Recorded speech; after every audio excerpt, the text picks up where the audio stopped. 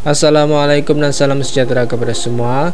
Okey, hari ini saya mau tunjuk cara menukar propeller ataupun kipas drone DJI Mini 2 Sebab baru-baru ni drone saya ini ada terhempas di hutan Semasa saya buat penerbangan dia terjatuh dan terhempas di kawasan hutan. So ada sebahagian kipas drone ni dia bengkok. Saya kena tukar kipas ni lah. Kalau mau lihat rakaman drone ini terhempas Anda boleh terus pergi ke ruangan description untuk melihat video tersebut. Ataupun boleh tekan link di atas ni okay? Cut di atas ni untuk melihat video tersebut. So sekarang ni saya mau tukar dulu propeller drone ni Supaya saya dapat terbangkan drone ni dengan lebih baik.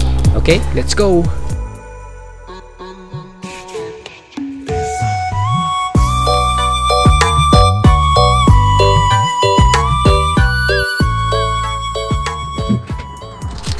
Langkah pertama yang kita perlu buat iaitu kita perlu buka dulu kita punya kaki drone ni. Okey, kita buka dulu. Lepas tu kita cek lah propeller ni dan cek mana bahagian rosak. Okey. So, kalau mau ganti yang bahagian rosak saja pun boleh. Kalau mau ganti semua pun tidak masalah.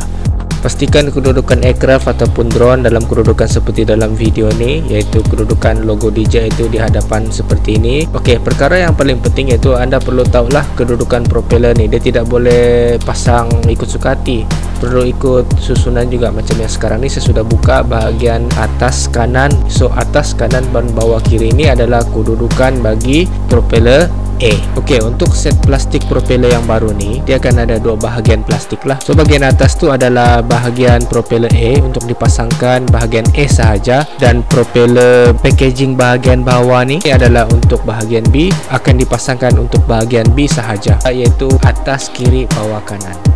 Lepas tu kita akan buka propeller menggunakan screwdriver lah. Simple. Saya gunakan screwdriver yang original DJI bagi. Apabila anda menggantikan propeller, pastikan skru pun ganti yang baru lah.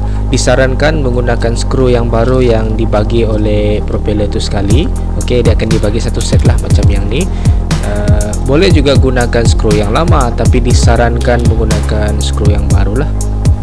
Lepas kita sudah buka propeller yang lama, so kita pasang propeller yang baru menggunakan skru yang baru. Okey.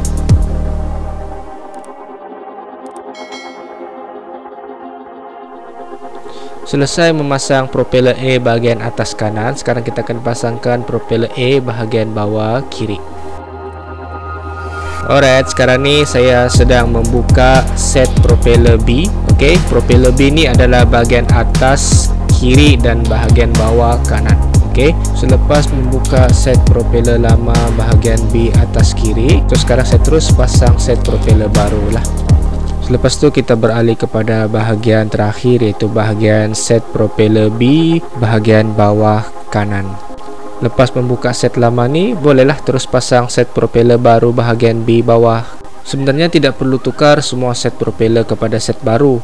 Cuma gantikan bahagian rosak. Memandangkan saya punya drone ni ada terhempas hari itu, So saya terpaksa tukar semua sebab saya risau ada masalah di setiap propeller yang lama tu lah. So kalau anda rasa propeller sebagian propeller tu masih ok So just ganti yang rosak je lah. Selepas semua propeller sudah siap dipasang Pusing-pusingkan propeller Untuk memastikan propeller ni dapat berfungsi sepenuhnya lah.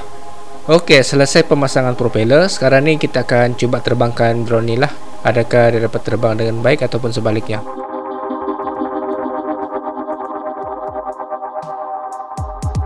Untuk penerbangan pertama menggunakan propeller baharu ni, Pastikan penerbangan dibuat dalam keadaan yang terkawal dan selamatlah. Pertama, terbangkan drone di kawasan yang rendah lah. Jangan terbang terlalu tinggi. Sekurang-kurangnya bawah 100 meter untuk mengelakkan apa-apa yang terjadi. Bila ada masalah, dia terjatuh, tidak terlalu tinggi kan. Kedua, terbangkan drone di kawasan yang rumput ataupun di kawasan yang semak seperti lalang. Supaya apa-apa yang terjadi, drone terjatuh di kawasan lalang so dia tidak terhempas dengan teruk. Sekian itu sahaja perkongsian saya mengenai penukaran propeller drone DJI Mini 2.